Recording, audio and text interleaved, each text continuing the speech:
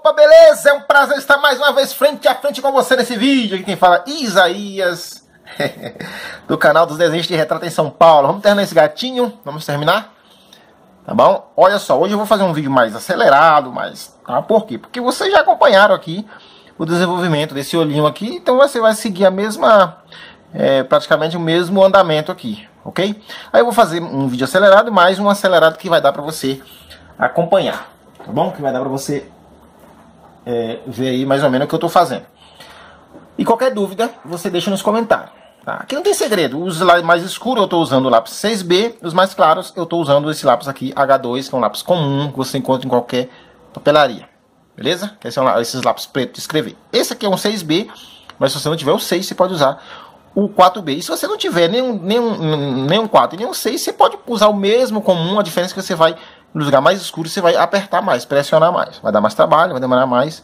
Mas dá para você fazer também, como eu já mostrei alguns vídeos, fazendo um desenho realista com esse lápis comum. Beleza? Então vamos continuar. Lembrando, gente, que depois que você tiver o seu gatinho aí pronto, você pode vernizar, como, como eu fiz aqui. Eu já vernizei esse lado, até vernizado, ó, não está sujando mais. Para isso que serve o verniz, que ele não deixa ficar manchando o desenho. Tá? Eu tenho vídeos aí falando sobre verniz. Então vamos para vamos a videoaula.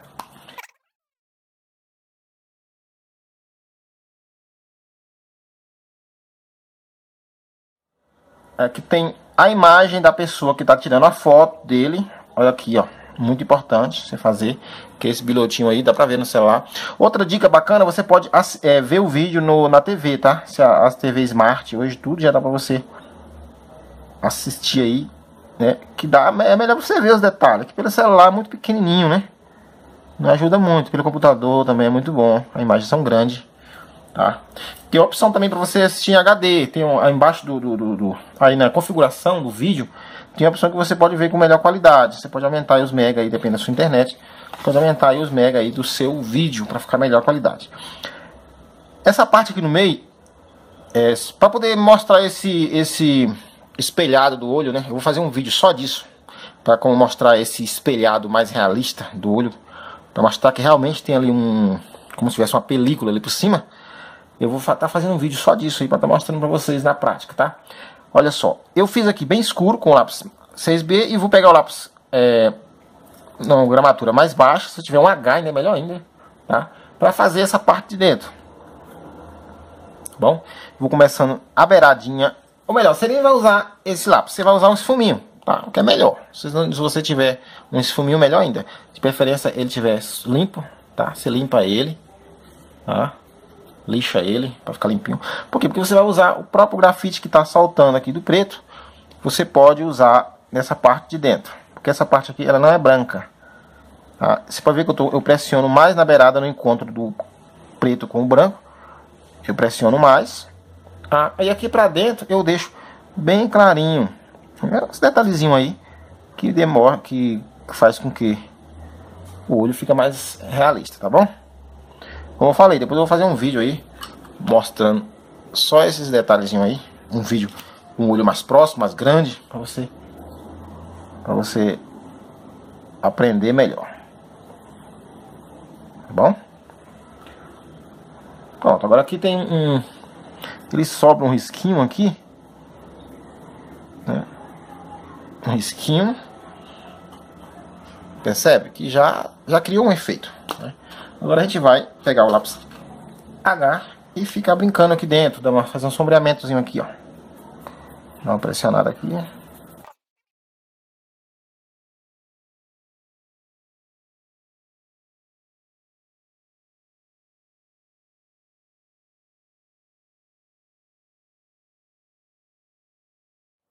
Tô com o lápis H aqui, ó. Deu uma apertadinha aqui. Aqui em cima, né? Agora eu pego um papel higiênico. Dou uma uma passada aqui. Pego o esfuminho. Deixa eu dar uma escurecidinha mais aqui um pouco. H, né? Agora eu pego o esfuminho, ó. Ele tá sujinho já. Eu pego ele e faço essas veinhas, ó. Se ele tiver limpo, você suja ele. Ó, você pega umas faz as veinhas com ele, ó. É. Você pode fazer também com lápis H, com muito cuidado. Não tá riscando, eu pego lápis H. Tá? Lápis H. Opa, pesou, tá vendo? Não pode. Faça as veinhas assim, ó. Tá bom? Essas cobrinhas, né? Que é as veinhas do olho.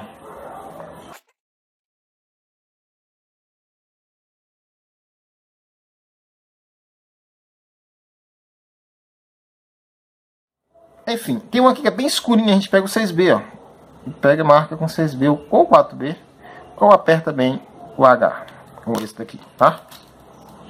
Continuando aqui, é, agora continuando aqui com o lápis 6B,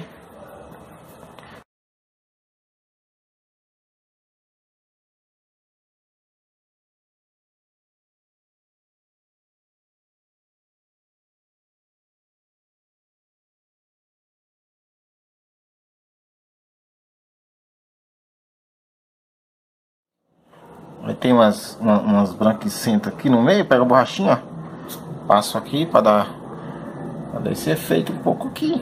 Vou continuar aqui com o lápis é, H aqui, ó. É, eu chamo H, mas é o 2B, tá? É, HB2.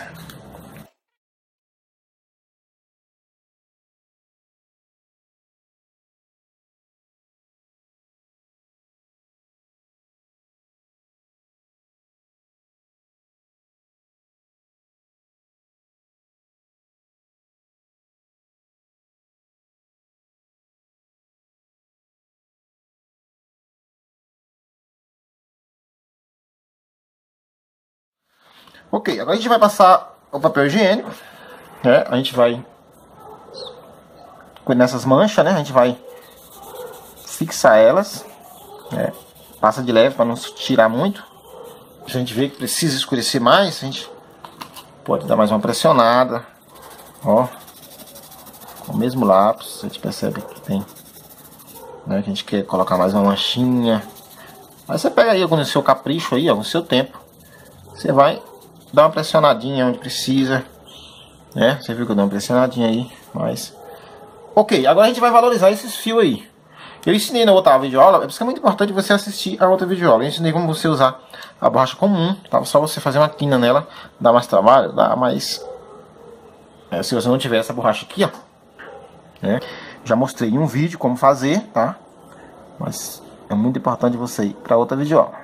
Eu vou acelerar essa parte porque não tem segredo. É só você passar a borracha dentro dos fios. Você já fez com o boleador lá atrás. Por, isso que se você chegando agora, é importante você ver a primeira videoaula. Pronto, agora que você já passou a borracha nos fios brancos, lembrando que dependendo da sua referência, é, alguns, alguns, alguns fios que você passou o boleador, não precisa você apagar, tá? Por quê? Porque você vai apagar só aqueles, você vai reativar o branco só daqueles que tem uns fios mais destacados, como a barbatana, um exemplo. Tá? Essa, a, a, agora você vai fazer um detalhe bem importante. Agora, você vai pegar o lápis. Lápis seu, lápis H, ou HB, que você estiver usando aí. Se o lápis da tonalidade mais clara que você está usando, além do, né, do 6B ou 4B, você vai pegar ele apontar bem apontadinho assim, ó. E você vai, esse fio que você quer que destaca mais, você vai e pinta em volta dele. Isso, ó. Você faz isso nesses que você quer que destaca mais. Em volta do branco, você vai riscando assim, ó, fazendo, pintando, para você valorizar esse branco, né? Isso se chama acabamento. Vai dando acabamento. Tá? Aí você vai reacendendo aí os fios brancos, beleza?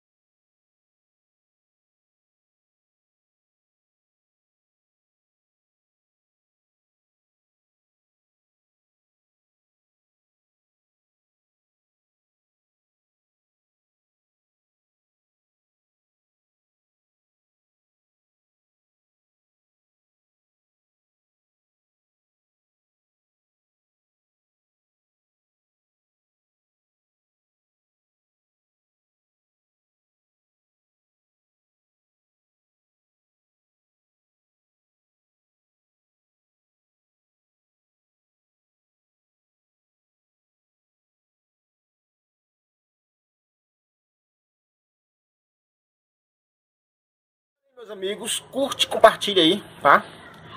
Faltou mais acabamento, faltou acabamento aqui em volta dos fios brancos. Você pode fazer com mais capricho aí, tá bom? Que é só para você ter uma base, você iniciar aí o seu trabalho, tá bom?